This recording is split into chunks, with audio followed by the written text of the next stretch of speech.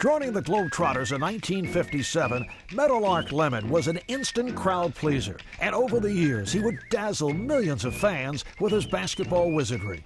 Meadowlark is probably one of the greatest showmen that ever played basketball. He amazed people all over the world. The ageless court magician's basketball career spanned five decades. I played with Meadowlark and I traveled with him every night, and he did some phenomenal things out on the road. Meadowlark worked the pivot to perfection, but he also knew how to work the crowd with his flair for comedy. I think he was a natural showman.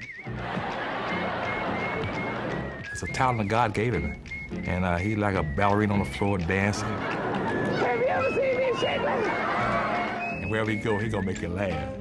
During his travels, Lemon performed in front of many world dignitaries, including two popes. If Meadowlark can make the Pope laugh, he can make anybody laugh.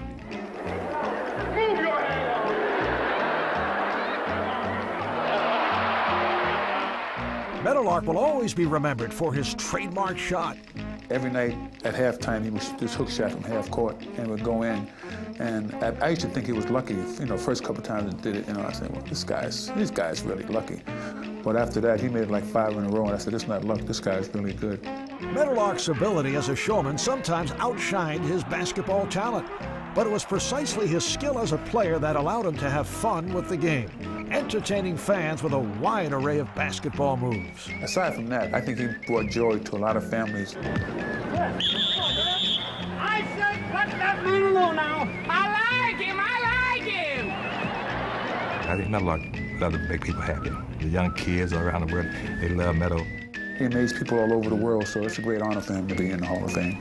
I think he should be recognized because he's probably the greatest showman that ever lived.